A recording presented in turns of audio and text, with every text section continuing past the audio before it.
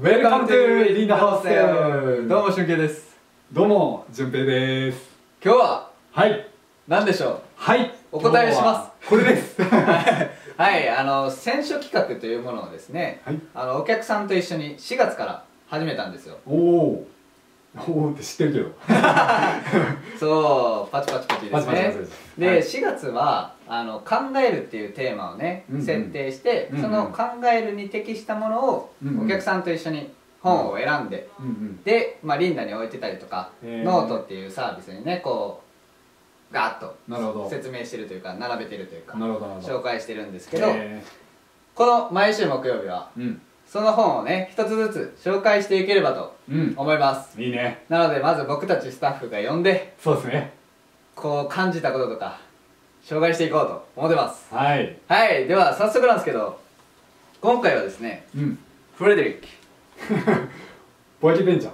これぼやけるんですよね。これはちょっとあのまた上手くなっていきます。はい。い いずれ対応します。はい。フレデリック。この本はどういう本なんですか？そうですね。投げちゃう、はいまあそうですね。フレデリックっていうこう絵本ですね、えーレオ・レオニさんっていう方が書いてて日本のまあ谷川俊太郎さんってこうねどちらも詩人の方なんですけどが書かれてる絵本はい。です。でまあ本の中身をね簡単に説明していくと、まあ、登場人物もう人物っていうか動物ですね。そうですね。ネズミが5匹登場するんですね、で、えっと、冬に向かってこう備えをどんどんしていくんですよ。食べ物を集めたりとか、まあ、冬眠の準備ですようね、ん。をしてるネズミが5匹いるんですけど、でフレデリックはそのうちの1匹はい。うん、で他の4匹っていうのは、まあ、冬眠に向けて食べ物をせっせとめちゃくちゃ働いてる。ああもういいやつだし。そうですね。もう必死にめちゃくちゃ集めてるんですよ、だから働き者ですよね、のネズミなんですけどフレデリックっていう1匹のネズミに関しては、まあ、一見するとちょっと怠けてる感じなんですよね。全然こう働いてない。主人公主人公やのに。そうなんですよ。主人公なのに全然こう食べ物を集めずうん。こう何をしてるかっていうと、まあ、すごくこう抽象的なことを言うんですよ。ほ例えばこう光を集めてるとか。うは 言葉を集めてる。あはいはいはい。とかですね。色を集めてるとか。はい。っていうふうにあのフレデリックは答えると。ああえらい抽象的ですね。そうなんですよでまあ最終的にじゃあどうなるかとはい。いうと、まあ、4匹の、ね、ネズミが食べ物を集めて冬こう冬眠してるんですけど、はい。まあ、フレデリックも一緒になってね冬眠しててでまあ冬をどんどんどんどんこう乗り越えていく、まあ、冬がだんだんだんだんなんていうんですか？冬を過ごしてるうちに、はい。まあ、食べ物徐々に減ってくるわけじゃないですか。うん。でそのタイミングで4匹のネズミはだんだんだんだんこう気持ちもズーンとなっていくとはいはいはい。食べ物ねえよみたいな。どうしようみたいな。はい、まあ、で冬眠というかやり過ごしてるって感じですね。あそうですね。まあそんな感じですね、ほんで、えっと、フレデリックがそこに対して言葉をこう投げかけていくんですよね、うん。それで、えっと、4人のネズミたちはファーみたいな。気持ちがだんだんこう晴れやかになってファーって。そこはまあ詳細は読んでほしいんですけど、はい。気持ちがとにかくファーってなって、はい。なんか晴れやかになってフレデリックありがとうみたいな感じで終わるっていう。フレデリックの言葉にネズミたちが。そうそうそう。ファーってなるっていうストーリー。ファーをちゃんと言葉で言うと希望をねこう感じるような描写をされている。そんな感じのストーリーですね、はい。めっちゃざっくり喋ってるんですけど、はい。はいはいそんな感じのストーリーです。なるほど。はい、この本読んでみてはい、どう感じましたか？結構あれやね唐突に質問してくる。唐突な質問。そうですね、はい。あのまあ、読んだ感想を言うとですねまあ一言で言ったらめちゃくちゃ良かっおおたもう最高最高の本。最高の本。最高の本だなと思って、まあ、今の時期にめっちゃ読んでほしいはい本だなっていうふうに感じたんですよね。というのは？というのも まああのまあ僕のね職業もちょっと関係するんですけど僕まああの普段こうライターの仕事してるんですね、はい。ウェブライターっていう仕事をしてて、まあ、言葉を扱う仕事をしてるんですよ、であのフレデリックはこれ言葉を扱う名人だなって思ったんですよ。言葉を使う名人。そうすごいなと思ってあのさっき言ったと思うんですけどこう冬眠じゃないですね冬をこうやり過ごしてる4匹のネズミたちに対して言葉を与えることでこう希望を与えてた。って話なんですけど、まあ、その光とか、まあ、色とか言葉を集めてるって言ったじゃないですか、うんそれをねなんなんていうんですかねこう、まあ、本当に詩人のようにはい。伝えてイメージさせるんですよねほうほう。聞いてる4人のネズミたちにファーってなってましたもんね。光を想像してごらんみたいな。そうそうそうそうファーって。そのイメージを思い浮かべることで希望がふわーって湧いてくるっていう感じあって。だからそういうふうになんか相手に希望を抱かせるほど言葉を扱うのがすごい上手。うん。なのがフレデリックなんですよね。でえっとまあそのどこにすごくこう共感したかっていうと、まあ、この絵本を描いた人たちも詩人って言ったんですけど、はいまあ、この人たちが伝えたかったことって、まあ、この絵本でこう詩詩を書く人っていうのは世の中にとって必要な存在なんですよっていう、うん。詩人を肯定するっていうメッセージが多分この中には含まれてると思ってまあ、4人のネズミたちっていうのは基本的にこう生命活動をずっとやってるわけですよ。食べ物を集めたりとか、はい。まあ、人間で言ったらお金をね稼ぐこととか、まあ、日々の生活のために何かをするってことをずっとやってるんですけど、フレデリック一人はそれ以外の部うん。分に対してめちゃくちゃ活動的はいはいはいはい。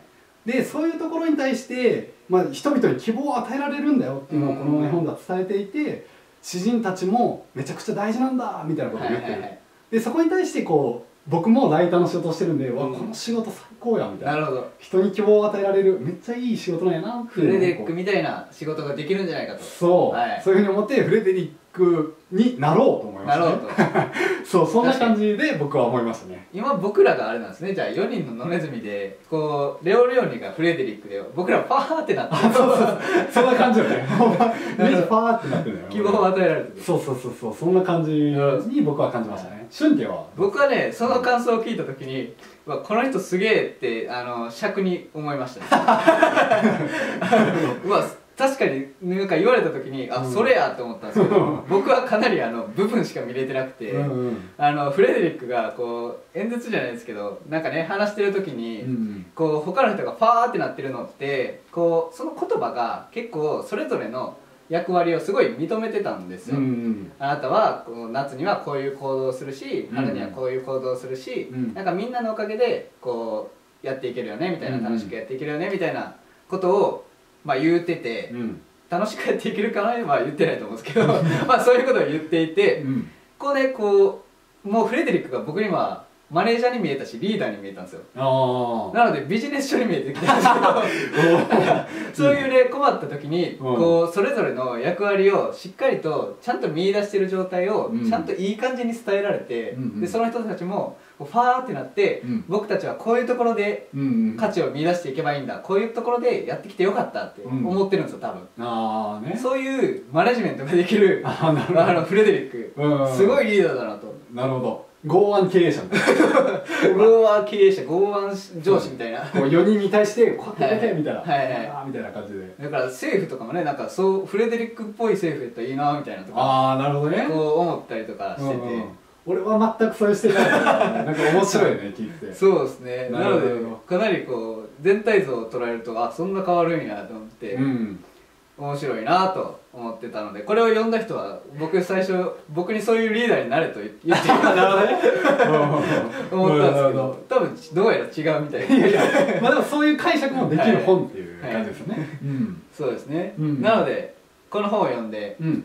じゃあ順平さんのね聞い感想を聞いてうん。なんか日々に活かせそうだな感はすごいありましたね。そうですね。あの僕は特にですねこの今のコロナの影響がこうねすごいこう世の中を騒がしてますけど、今の現状に対してもこうメッセージを与えてくれたなっていうふうはいにすごく思っていて、まあ、今こうコロナの影響を受けながらみんなどうしてもこう生命活動に必死？はい。こう食べ物だったりだとか、まあ、自分の仕事を失わないようにとかうん。お金をなんとかしないとっていうところにすごく目が行きがちだと思うんですけど、まあ、それ以外の部分ですよね。例えばまあこう本を読むだとか、うん。まあ、こういうふうに YouTube を見ていただくとか、はい。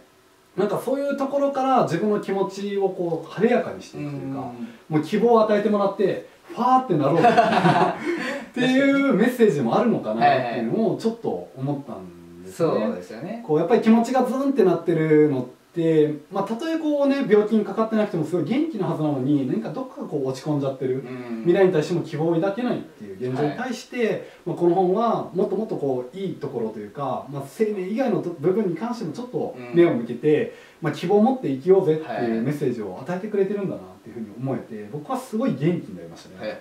めちゃくちゃいい絵本じゃないですか。めちゃくちゃいいよめちゃくちゃいい絵本 うんですね。そうですねアマゾンのリンク貼っときますね。いやでも。すぐポチれるように。そうですね。そう。そこがすごくこう日常に対してこう生かしていけるなと思ったので、うん。まあ、皆さんにもねぜひこうはい読んでほしいなというふうには思ってます。そうですねはい。もう希望を持ってこれを読んで、希望を持ってねやっぱ毎日楽しくうん。生きていきたいですね、そうですね。まあそんなこんなで、うん。こうね毎週はい。こういろんな本がね小説だったりとか、はいなんかビジネス書もあったりとかね。本当にいろんな本があるので、うんそれをね僕たちが読んでうん。まあ僕たちというか基本的に順平さんからの 話が中心になるそうかなんですよ。気がしましたが。僕はなんか1週間に1冊必ず本を読まないといけないっていうね。まあ好きなんで全然いいんですよ、はい、まあ、僕もあの頑張って読んでますので。ね。読んでいきましょう。はい、はい。それを紹介していきます。そうですね。はい。なので来週も楽しみにしていただければとそうですね。あのあれを忘れちゃダメですよ例のお言葉を。そうそうそう。あのチャンネル登録ね、はい。そうなんですよ。高評価ですね。いいねですねいいねじゃない。いいね。グッドボタン。グッドボタン。そうですね。高評価の部分を押していただけると、はい。めちゃくちゃ嬉しいめちゃくちゃ嬉しいです、うん。あれ嬉しいよね。そうですね。やっぱフォロワー数チャンネル登録者数みたいなやっぱちょっとずつね増えていっているんですけどやっぱそれ見てるとやっぱ嬉しいんですよ。う嬉しい。で伸びなかったら悲しいんですよ。そうね、はい。だからあのぜひ僕らにもね希望を与えてくれたら嬉しいなと思うので。でコメント欄になんかフレデリックのような言葉をあそうですね。ぜひぜひぜひ。いただきたいですね。はい。楽しみにしてますので。楽しみにしてます。はい、そんな感じでじゃあ今日はね、はい。終わりたいと思います、はい。では。バイバーイ。おやすみなさい。おやすみなさい